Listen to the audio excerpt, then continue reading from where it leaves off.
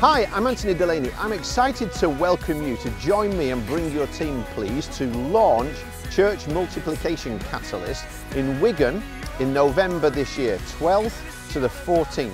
We'd so welcome you to join us. This has been growing in the last couple of years. A third of the people who booked last year immediately booked within a week people said that the speakers that we gathered and the leaders that were in the room, it was like we had the Avengers. Well, this year's theme is Hero Maker, and we're not just going to be about heroes. Now, we can be heroes ourselves. It's, it's about how can we help others? How can we raise up apostolic, prophetic, evangelist, shepherd, teachers to be able to change the world as we reproduce churches and plant new churches all around the world for the 21st century church, recalibrating it biblically. I do hope you'll join us. I hope you'll be able to bring your team and be part of Hero Maker launch this year.